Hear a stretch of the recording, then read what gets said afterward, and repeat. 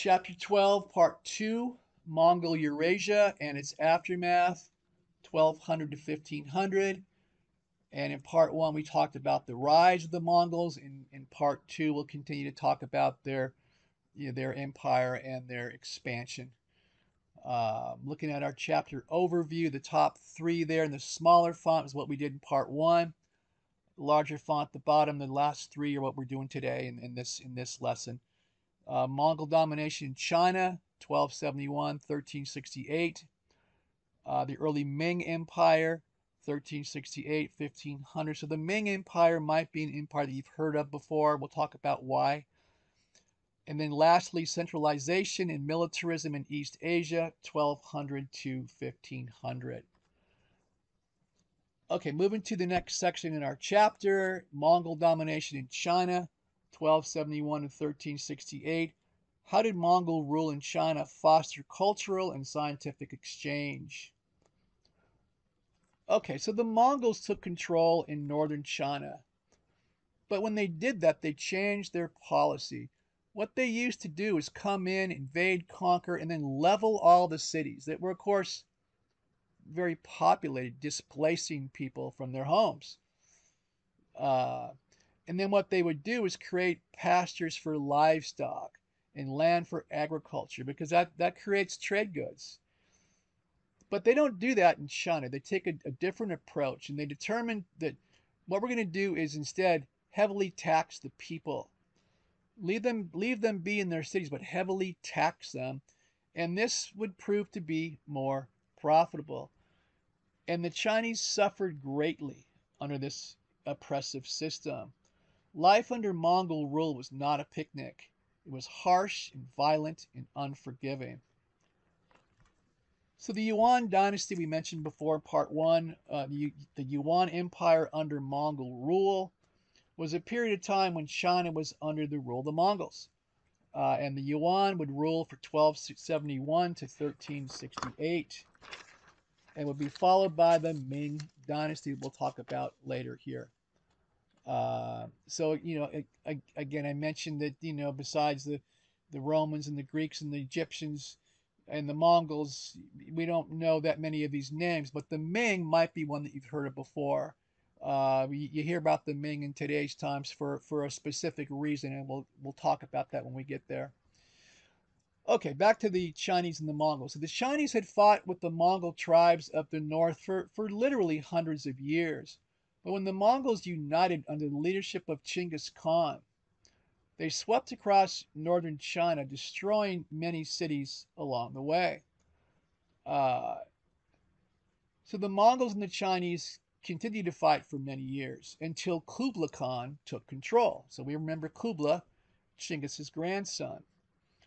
So Kublai eventually conquered most of China, including the Sung and Jin empires and establishes his own dynasty called the Yuan. The Yuan dynasty or the Mongols are coming. So that's more of a joke, but um, okay.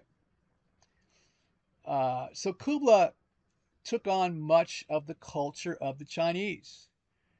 Uh, but although the Mongols were great warriors, they, they really didn't know how to run a large empire like China had been. So Kublai used Chinese officials to run the government, initially anyway.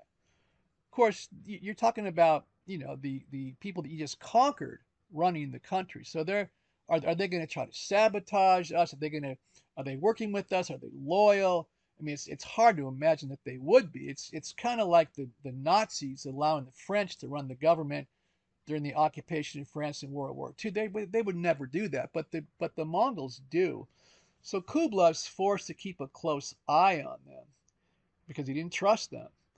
Uh, but there, but there were positives. Uh, encouraged trade and communications with lands beyond China, uh, and this, you know, this was key to Mongol success. The protecting the Silk Roads, making them safe again, you know, making them so people were not afraid to travel them. This all resulted in a positive, you know, with trade. Trade flourished.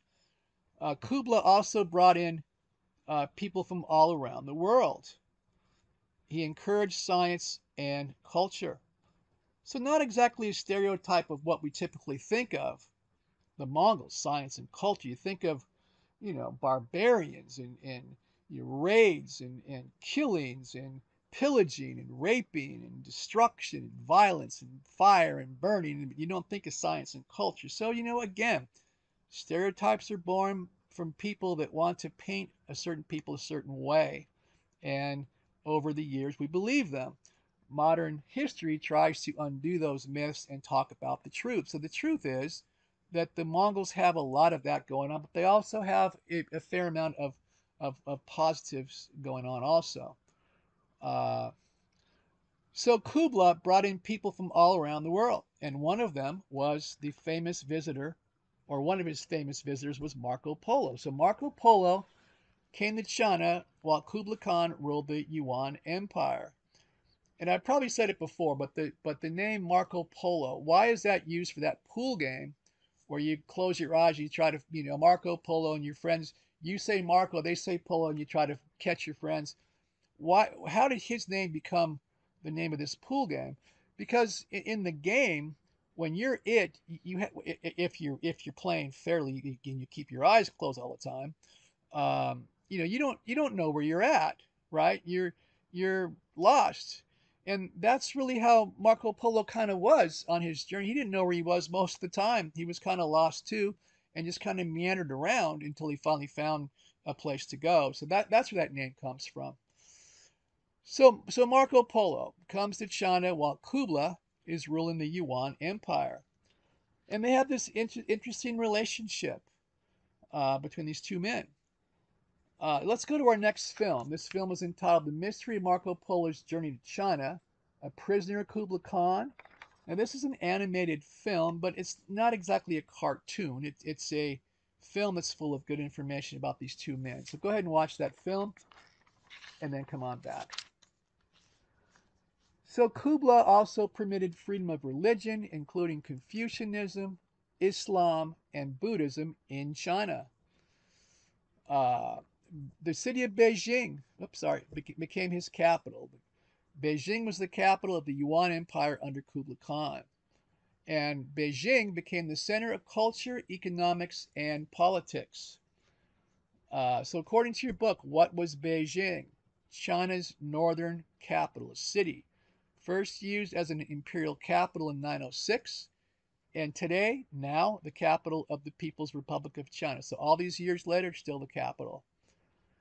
Uh, to keep control of his Chinese subjects, Kublai instituted social classes, and we've seen these pyramids before. This pyramid shows the social hierarchy of China under the Yuan dynasty. Uh, so, of course, the Mongols made up the highest class and were always given preference. Uh, below the Mongols were the non-Chinese races, the Central Asian nomadic peoples, the Muslim allies, the Turks. Below them, in the last two tiers, the bottom two tiers are the Chinese. Uh, first, the Northern Chinese, and at the bottom, the Han Chinese and, and, and the minority people of the South. Uh, the Southern Sung were considered to be the lowest class. Uh, so parts of the Chinese culture continued to flourish during the Yuan dynasties. Uh, Kublai Khan began a new era in China called the Yuan dynasties, we know. Kublai enjoyed Chinese culture so much that he moved the Mongolian capital to China. So the capital of, of, Mong, of the Mongols was moved to China. But by this time, Kublai excluded the Chinese from serving in high government offices because he didn't trust them anymore and relied on foreigners to serve in his government. So uh, what's what's worse? I mean, a, a foreigner that doesn't have any loyalty either. So didn't exactly um, didn't exactly uh, uh, solve his problem here. Uh, but the key is that the Yuan rulers encouraged advancement in technology and transportation, also encouraged the arts such as ceramics, painting, drama, and uh, interestingly, the Mongols became more like the Chinese over time.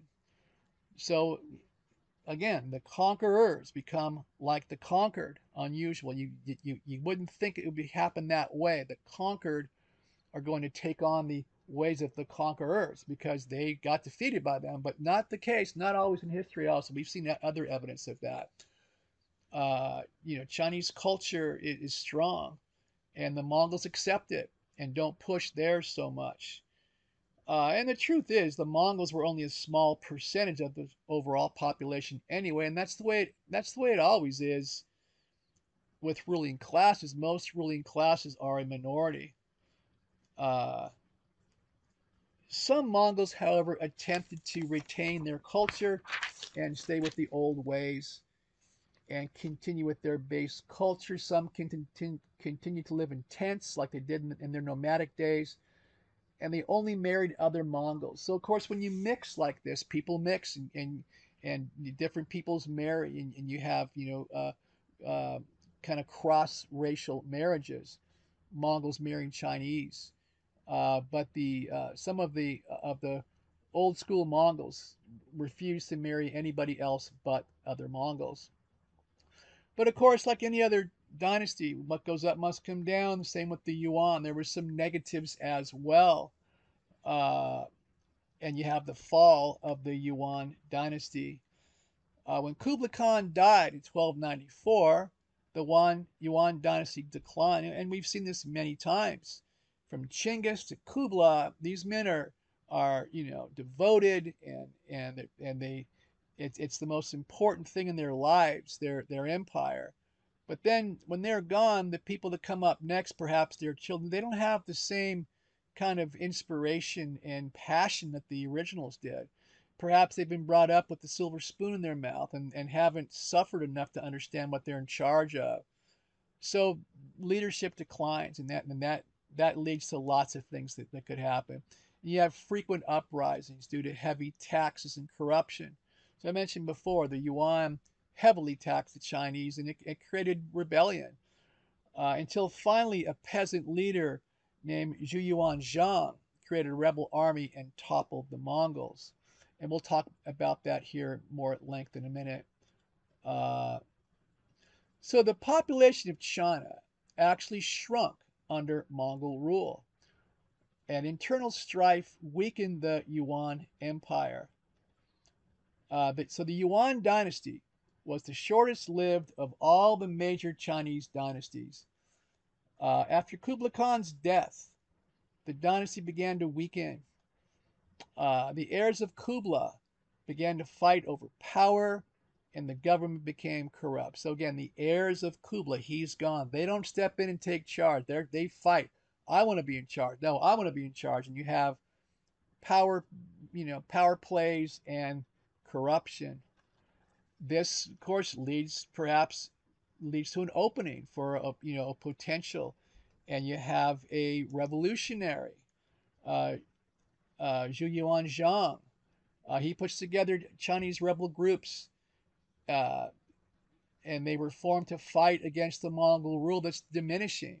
This happens in 1368 and he led the rebels and overthrew the Yuan and this is where the Ming Dynasty is born. So Zhu Yuanzhang um, established the Ming Dynasty in China in 1368 after defeating uh, the Yuan. And the next section in our book is the early Ming Empire, 1368 to 1500. In what ways did the Ming Empire continue or discontinue Mongol practices? Uh, so you have the rise of the of Ming China. So the Ming Dynasty is often called the largest of the great Chinese dynasties, and they ruled ancient China from 1368 to 1644, so almost 300 years. Uh, the Ming had an anti-Mongol point of view, but adopted many of the Yuan government policies. Uh, so the Ming Dynasty, I mentioned uh, Zhu Yuanzhang. Uh, it developed from a series of rebellions that finally drove out the Mongols. Zhu Yuanzhang led them and founds the, the Ming Dynasty, also called the Brilliant Dynasty. Uh, so the Ming is often called the last of the great Chinese dynasties. They would rule ancient China from, from 1368 to 1644. Uh, and had an anti-Mongol point of view. So according to your book, the Ming was an empire based in China that Zhu Yuanzhang established after the overthrow of the Yuan Empire.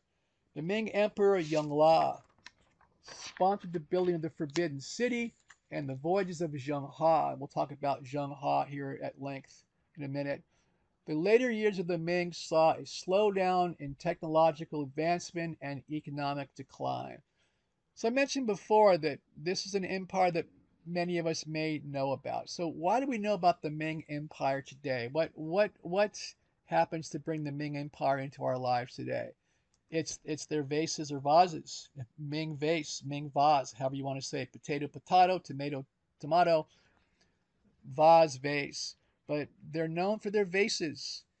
Uh, very valuable today. If you have one of these, you got some money. Uh, these vases were made from a fine, very thin porcelain. And this is where the idea of fine china came from. So when somebody sits down at a table having friends over and they bring out their fine china, that's what they're talking about. Fine china is made in China and it's made from this very thin white porcelain. I, am not sure if many people pull up their, their, their fine china today, but you probably heard that in the past. Uh, so as we know, prior to the Ming dynasty, China had been ruled by the Yuan dynasty, set up by the Mongols who conquered China about 100 years earlier. But of course, many of the Chinese did not like the Mongols and considered them the enemy, and they were finally overthrown and ousted by Zhu Yuanzhang uh, he took took I'm sorry, he took control of China and named himself the Emperor uh, Hongwu. And this is the official start of the Ming Dynasty. so the Ming was an era of large civil engineering projects. They almost completely rebuilt the Great Wall of China. So we talked about this way back from the very beginning of history in China and, and all these different dynasties come along and add to it or repair it, but the but the Ming rebuild it uh, solidly into what it is today. Uh, it, it was in disrepair. So they, they built very tall and very wide walls made out of brick, and they're still standing today. If you visit the Great Wall, uh, most of what the walls you see, the wall you see, is was was built by the Ming around the decaying uh, older wall. Uh, they also rebuilt the Grand Canal. We've also heard of this before. This this canal that linked the Yellow and Yangtze rivers. Uh, this incredible trade avenue, this you know unimpeded avenue waterway that connects the north and the south of China, which of course you know uh, is a, a, tremendous trade route, and of course the trade flourished up and down this this canal. Uh, the Grand Canal rebuilt during the Ming had a significant impact on trade and helped the economy to flourish. Okay, um, the Forbidden City. Uh, Beijing is known as the Forbidden City. This is also developed during the Ming Dynasty. So the city is where the emperor's palace was located inside the capital city of Beijing.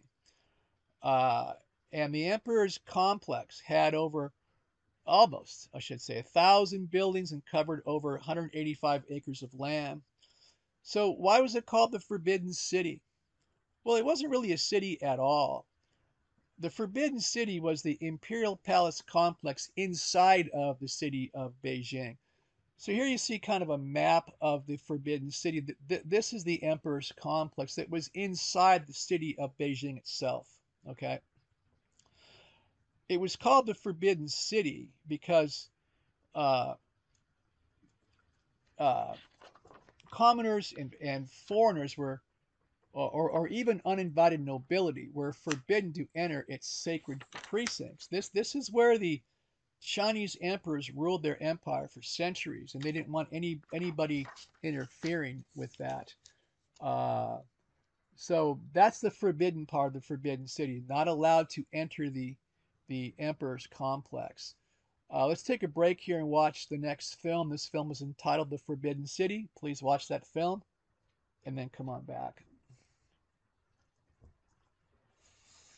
Okay, so so art flourished during the Ming era literature, painting, music, poetry, porcelain, Ming vases, vases made of blue and white porcelain fine china were prized at the time throughout the world and are still considered very valuable today. If you, like I said, if you have one of those, let me know. Uh, I'll take it off your hands for 20, 30 bucks. Just kidding. Um, so culture in general flourishes during the Ming. Uh, literature reached new heights. And you have these great classical novels of, of Chinese literature being written during the Ming Dynasty. uh, so the Ming government uh, had a centralized bureaucracy. And, and, while we know that can be somewhat complicated, we talked about red tape.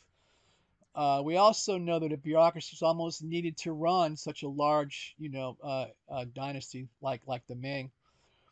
Civil service civil, uh, civil service exam system. What is that? We have that today. People have to pass a civil service exam to get a job in the government or the city or whatever it might be. Uh, and the Ming have this. Um, so what's that mean? That you had to be qualified for a job. No longer given jobs were no longer given out as a favor. So nepotism. You know, my dad had a job, so I got the job. I don't have the qualifications, but it doesn't matter. My dad had that job, so I got it. Or my friend, or my wife's father, or somebody. I, I know somebody high up, so I, they got me a job. It's called nepotism. But no, not not here. Uh, you, you have to pass this exam and be qualified to get the job no longer as a favor. The Ming set up a national school system, okay, and, and had, you know, uh, uh, systems for each school, so the curriculum's the same anywhere that you go. Uh, the Ming ran large numbers of factories and workshops, you know, before the Industrial Revolution. So, you know, um, kind of the precursor to that. Uh, of course, I mentioned the improvement of the Grand Canal, which was a shipping lane across China, huge success, but also the Great Wall that didn't have much to do with trade, but you know, it was part of their culture. Um, so, so again, the government's run by the civil service, and we have this today in our government. You know, we get we take difficult exams to get jobs in the government. Uh, so, in, in in the era of the Ming, the, the men with the highest scores would get the best jobs. So a, a man might study for years to try and pass the exams and earn one of these prestigious positions. Uh, they often covered a number of subjects. Uh, but interestingly, a significant portion of the testing was on the teachings of Confucius. So all these centuries later, all these different dynasties and leaders, and some good, some bad, invasions and falls and declines, and all of that we've talked about since this class started. Uh, Confucius remains a huge part of Chinese culture for, for the entirety of it. Uh, interesting. Notice I don't say that, that, that women were taking these jobs or, or, or taking these exams, I should say, because women were, were not allowed to take these exams and have those kind of jobs. It was for men only. uh, the, the Ming also used men who were eunuchs. Uh, what's a eunuch? A eunuch is a man who, who's been sterilized or castrated so they could not produce a family. Why would they want to do that to a man? Uh, so that man could not potentially challenge the dynasty someday. How would he do that? Well, many of these men were guards that might be the guard of where the women were the women of the leaders or the emperor or, or their sons or whatever. And of course, you know, men and women mixing might might result in some kind of, uh, you know, uh, a sexual encounter. Uh, and so the fear was if that happens, you know, a an, an heir may not be the same blood. So how do we stop that? We sterilize these men. So many of these men in these positions were eunuchs Imagine that the government forces a man to do that. Uh, pretty amazing. Uh, okay, the Emperor Shengzu was the third emperor of the Ming Dynasty. He was responsible for the rebuilding and the rebirth that we just spoke about the wall, the canal, the Forbidden City. But he also established trade and diplomacy with other countries and later became known as Yongle the the emperor, the third emperor, the Ming emperor, Ming Empire, sorry, uh, sponsored the building of the Forbidden City. Also, a huge encyclopedia project. So, so you know, uh, expanding intellects. Uh, he uh, he sponsored the expeditions of Zheng La, Zheng Ha, sorry, and the reopening of China's borders to trade and travel. Um, okay. So, mentioned Zheng Ha a couple times. So, who is Zheng Ha? a very interesting man in history.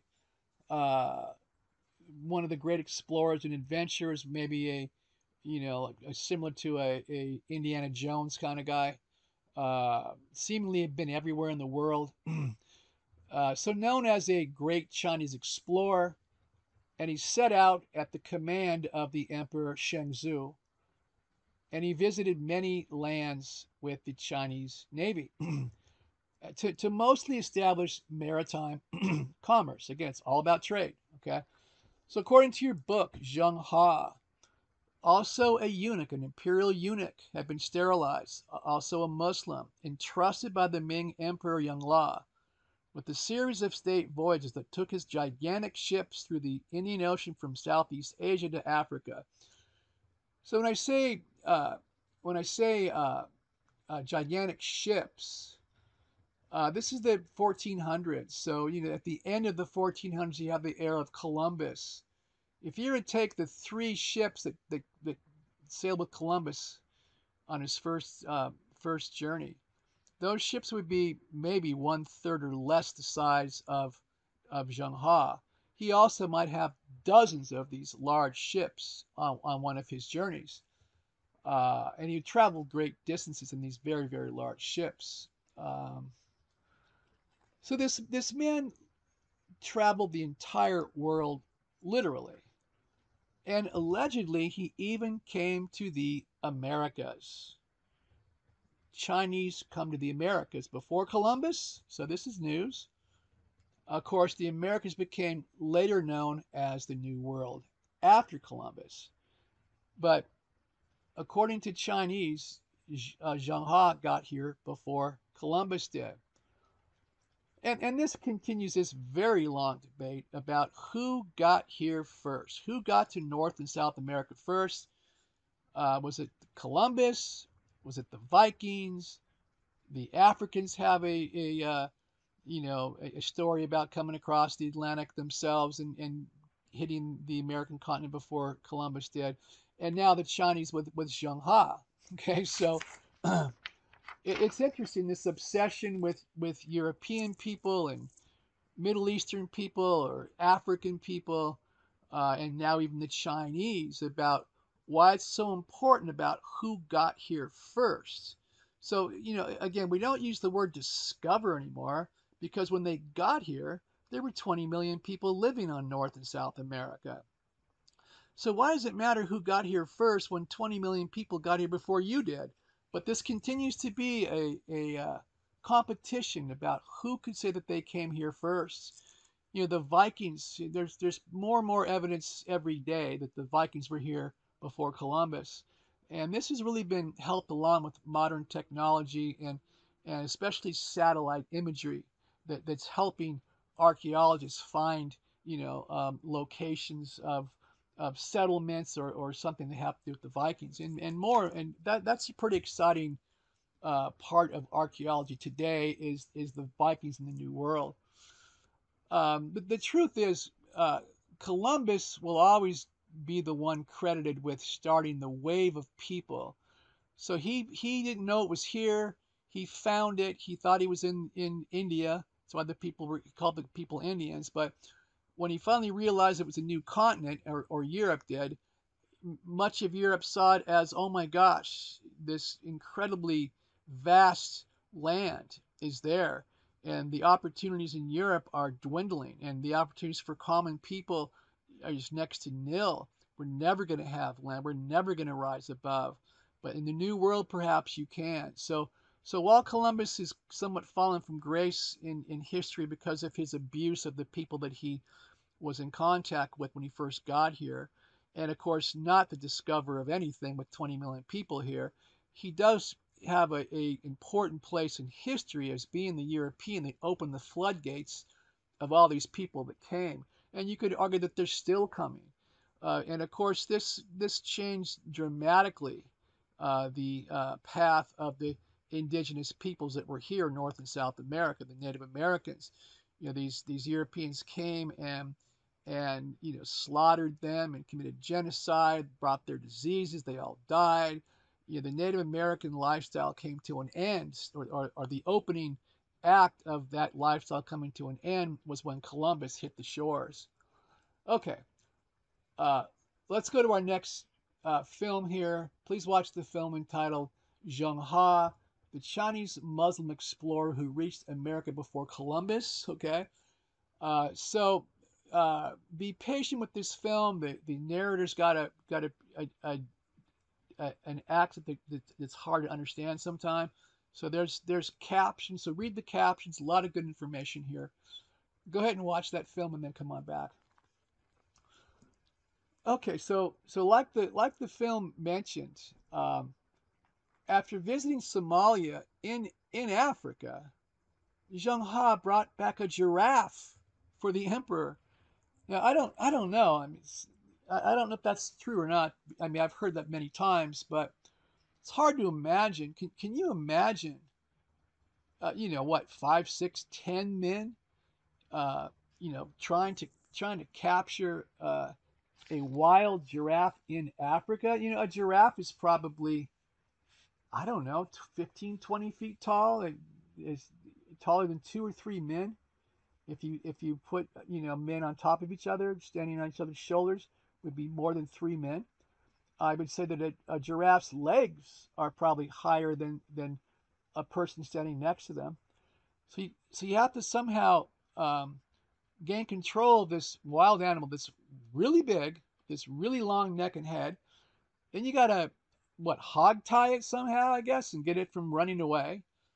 And then you gotta somehow drag it or transport it in some way, carry it back to your ship. Now, do you do you put it in the in the bottom of your ship hog tied? I mean, it probably wouldn't live. So do you untie it and put it on on the deck? It's it's 20 feet tall. I mean, you know, it's it's it's kind of ridiculous. Do you put it down below and make it make it kind of you know put its head to the side? It's hard to imagine that you could take a giraffe on a long voyage at sea, but this is a story that, that you hear about Zheng He. Okay, our next section in our book, Civilization and Militarism in East Africa, 1200 to 1500. What are some of the similarities and differences in how Korea and Japan responded to the Mongol threat. So other countries, Korea, Japan, Vietnam, and we talked about them in our last chapter, kind of their, their beginnings. These three were also affected by the Mongol hordes. But out of the three, Korea was soundly defeated and put under harsh Mongol control, while Japan, uh, with an amazing story, we'll learn about that here in a minute, and Vietnam mostly escaped the Mongols. Uh, so starting with ancient Korea, and I mentioned that the Mongols had their eyes on Korea because they wanted to use it as a base for their invasions. Uh, obviously, if you're going to invade somebody, you want to get as close to them as you can, not from a thousand miles away. You can't invade somebody from a thousand miles away because you have to supply your army. So you want to get as close as you can and then go from there. So the Mongols saw Korea as a base to do that in places like Japan and in Vietnam in their future. Uh, okay, so the so the Mongols occupied Korea until the 1350s. In 1392, the brilliant Korean general Yi Sung-gi set up the Chosun dynasty. Yi reduced Buddhist influence and set up a government based upon Confucian principles. With a few generations, Confucianism had made a deep impact on uh, the Korean life. Uh, so reduces Buddhism and pushes more towards Confucius. So there's Confucius again, always, always there. Uh, so you have the the Joseon and the Chosun dynasty. Uh, this was a Korean state founded by uh, Taejo. Uh, uh, Yi Sung-gi that lasted for approximately five centuries. Uh, so the Chosun dynasty, also known as the Joseon dynasty, uh, same thing. Uh, our book says Chosun, but J- Joseon is, is also a name for it. Also called the Yi dynasty. Uh, and and so the Chosun ruled over a united Korean peninsula for more than 500 years, from 1392 until 1897. Not that not that long ago. Uh, so who are the Chosun? According to your book, the Chosun dynasty ruled Korea from the fall of the Goryeo kingdom to the colonization of Korea by Japan. So Goryeo is where the name Korea comes from.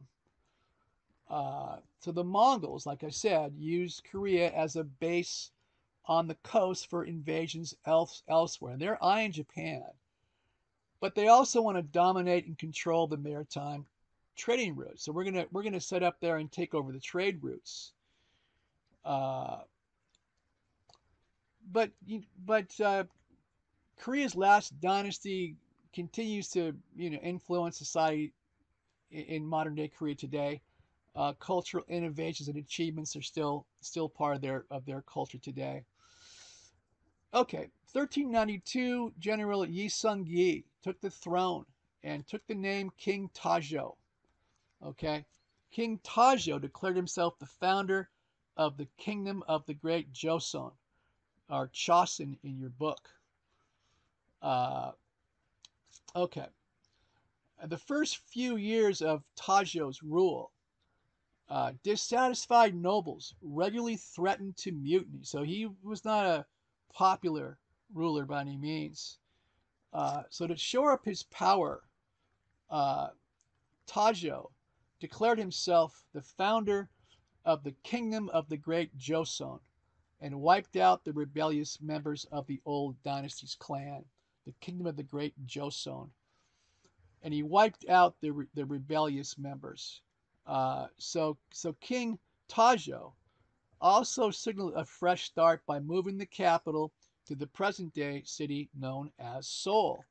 And he built architectural wonders in the new capital, including the, the Gyeongbok Palace, completed in 1395, and the Changdeokgung Palace in 1405. Uh, King Taejo would rule until 1408. Uh, so the Joseon culture and power reached a new pinnacle under Taejo's great grandson, King Sejong the Great. Uh, what's his legacy? Uh, uh, uh Cultural Center, Research Center, uh, movies, TV shows, t- streets named after him, currency, stamps, all these things today still talk about King Sejong the Great in, in China. Uh, okay.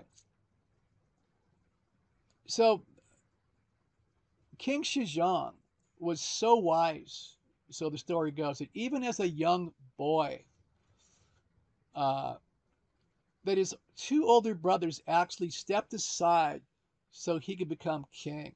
So, of course, you know, it's all about succession. The oldest son is first in line to the throne.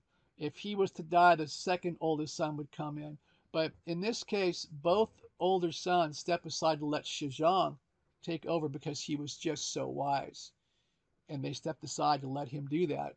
You don't see that very often.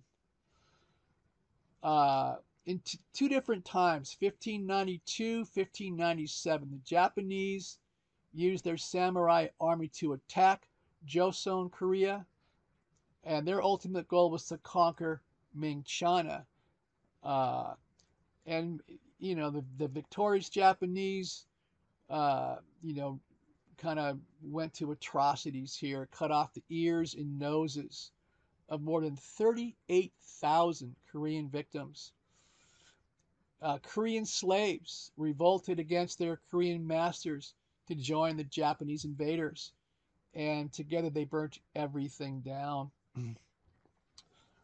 Uh, the Ming Dynasty was, was also um, weakened by the effort of fighting off the Japanese uh, that, that soon fell to the Manchu state of China.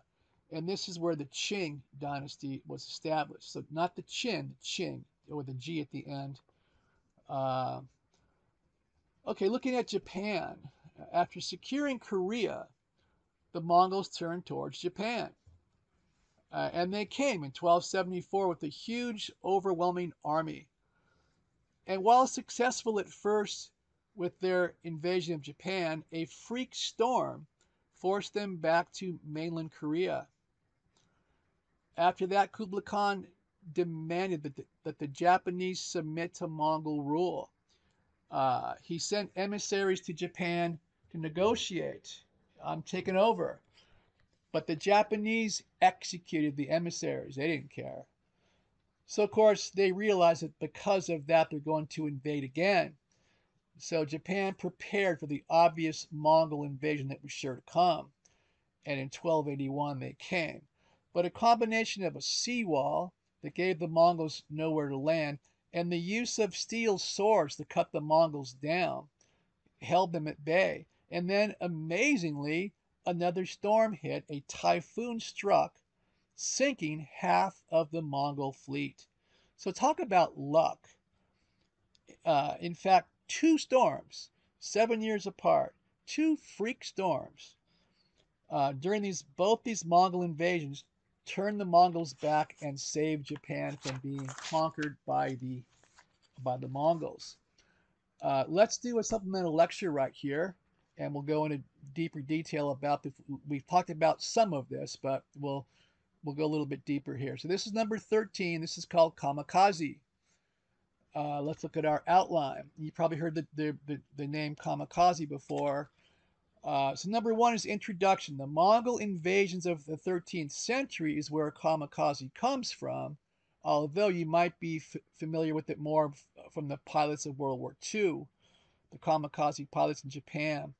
Uh, number two, the Mongols. Talk about these two invasions, 1274, 1281, and elaborate about each one, but briefly.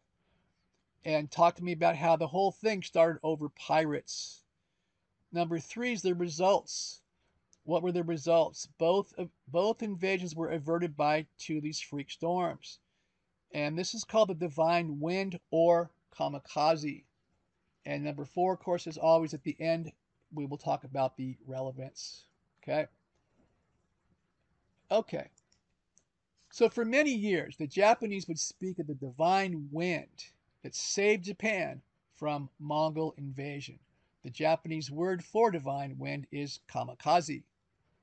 These failed invasions from these storms, or, the, or this divine wind, uh, cost the Mongols a lot of men and money and led to the beginning of the decline of the Mongol Empire.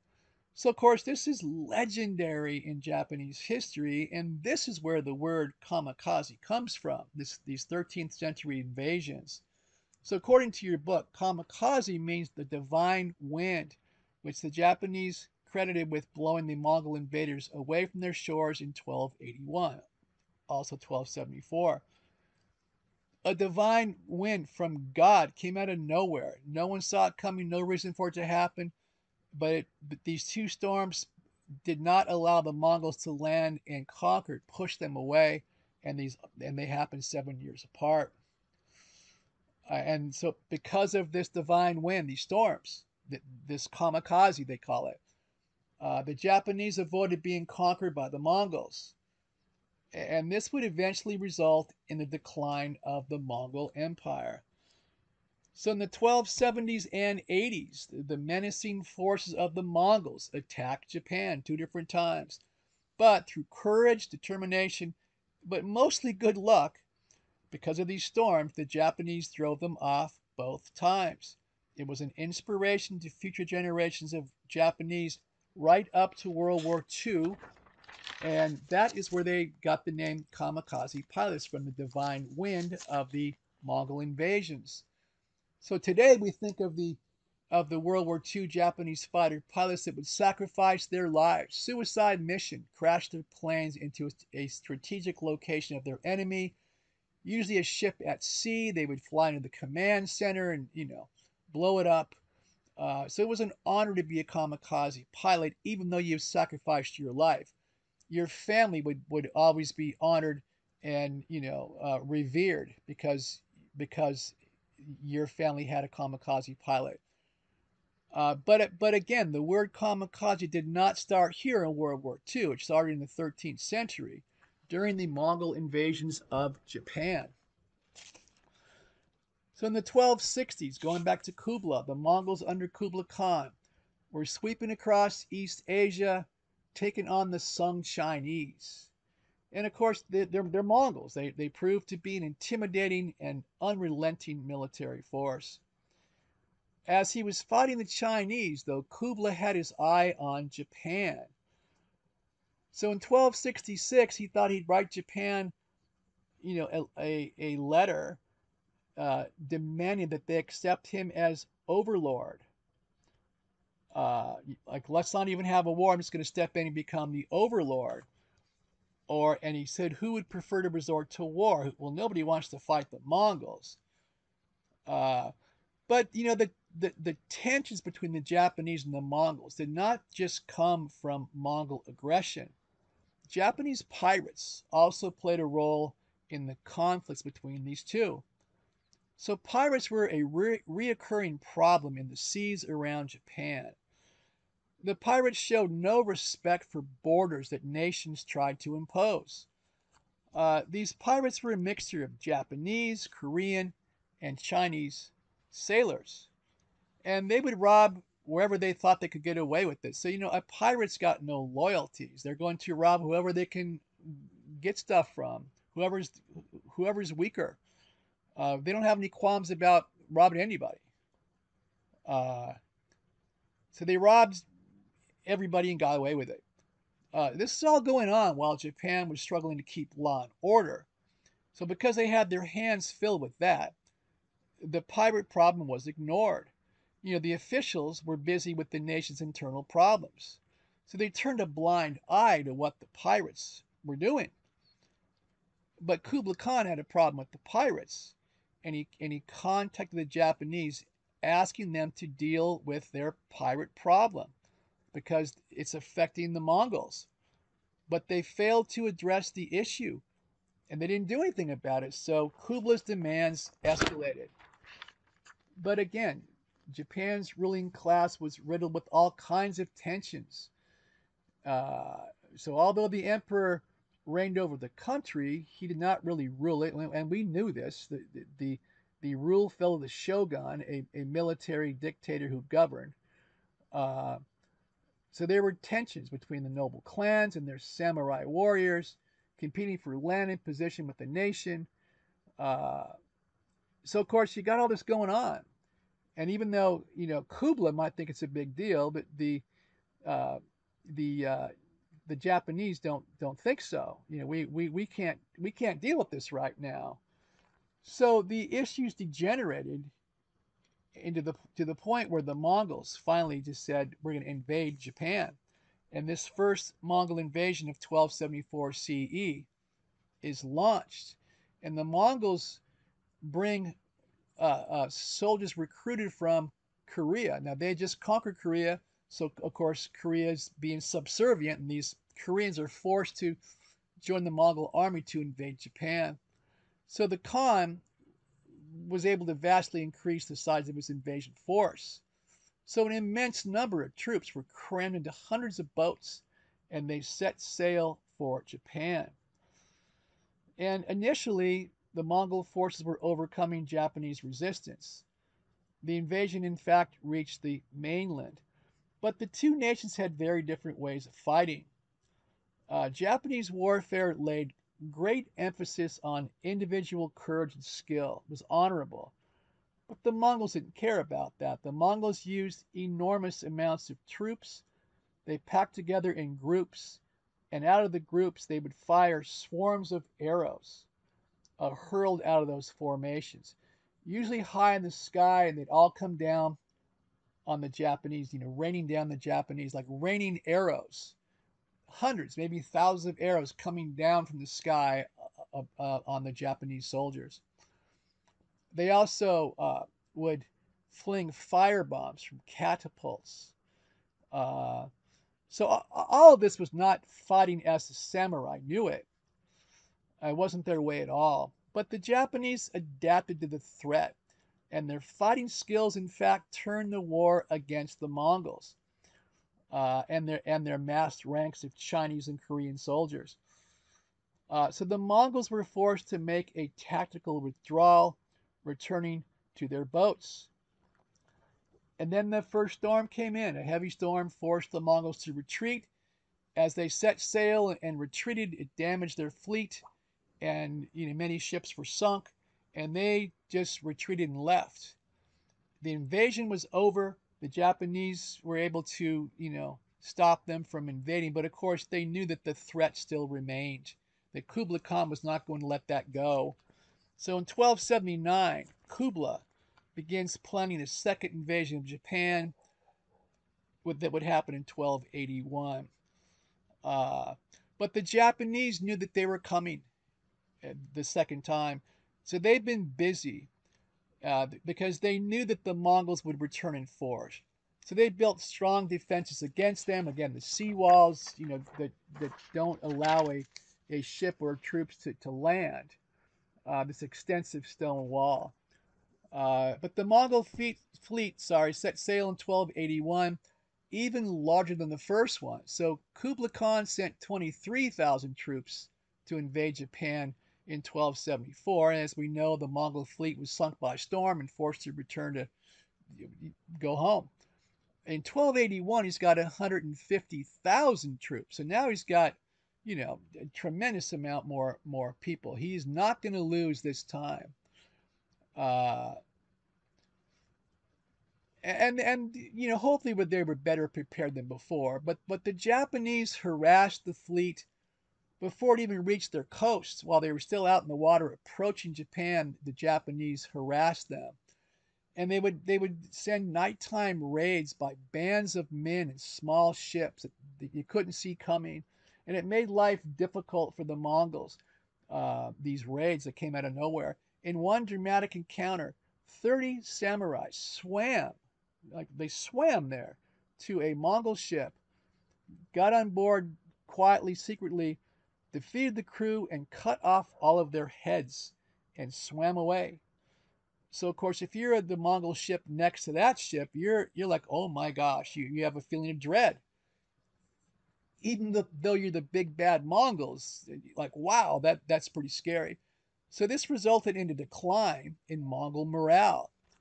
Uh, but while this is all going on, uh, you've also got the uh, summer sun you know, blazing down upon the Mongols and their Chinese forces, while they're all lining their boats off the coast of Japan. So the Mongol existence was miserable, confined, hot, not exactly the glorious invasion that they had promised that they were coming back to finish the job. Uh, as the end of summer approached, the typhoon system, I'm sorry, season came. Uh, these huge storms, like a hurricane almost, and on August 15th, a terrible storm descended upon the fleet, and this time far more devastating than, than the storm that struck the first invasion. This was much worse. It smashed the Mongol ships and scattered those that remained, and they again had to retreat with what was left of them. This is referred to as the divine wind. Clans usually competed against each other in Japan but the Japanese came together to repel Mongol invasions in 1274, 1281. On both occasions, the Japanese were helped greatly when the Mongol fleet was destroyed by powerful typhoons, hurricanes. The Japanese called these kamikaze or divine winds. Uh, in answer to their prayers, the Mongol invasion force had been destroyed twice, and the Mongols would never again come close to invading Japan. The defeat of the Mongols by the kamikaze was an iconic moment Uh, the attempted Mongol invasion and its end helped to shape Japan. Uh, Buddhist shrines, uh, you know, associated with the divine intervention, uh, intervention, the divine wind, grew in prestige. Uh, so Japan was brought together by the external threat from the Mongols. The samurai cooperated in a way that they had not done for years. So the so the the legacy of the Mongol invasions of Japan and their failure, in both cases, brought a period of relative unity to, to Japan that they hadn't had in a while. Uh, so the, the legend of the divine wind of the kamikaze, a 13th century war, was remembered in the 20th century due to the divine wind or the kamikaze. Okay, to end the supplemental lecture, here's the relevance, a little bit longer than usual. Uh, the divine wind is a legend of shared courage and resistance, a devastating force that would answer their country's prayers and turn back any invaders. This is what the suicide bombers of World War II thought when they took on the title of kamikaze. They were the modern versions of that. One more time the relevance. The divine wind is a legend of shared courage and resistance a devastating force that would answer their country's prayers and turn back any invaders. This is what the suicide bombers of World War II thought when they took on the title of kamikaze. They were the modern version of that. Okay, that is the end of supplemental lecture number 13, kamikaze. Okay, moving on. The Ashikaga shogunate.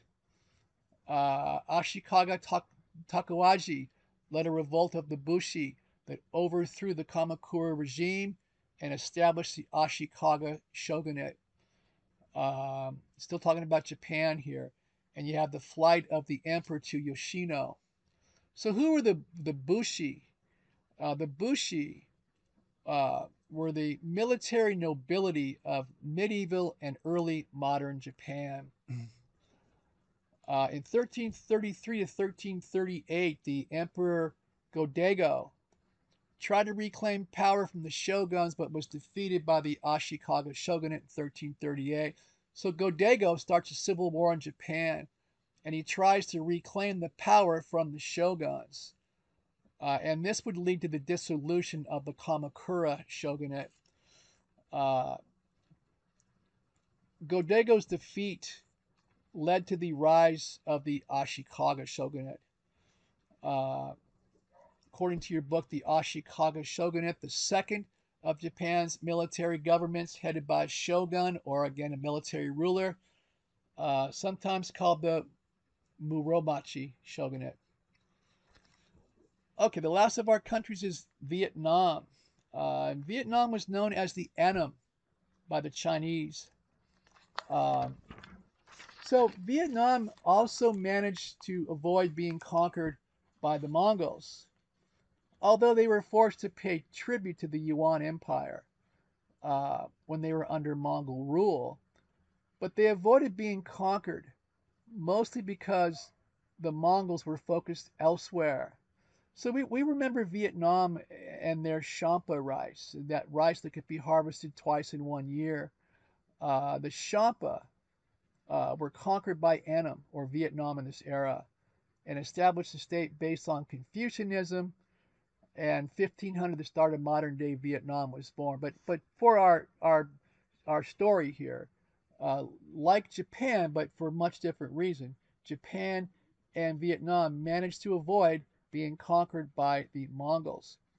Uh, in the case of, of Vietnam, the Mongols were focused elsewhere, luckily for them. Okay, that is the end of chapter 12. Thank you.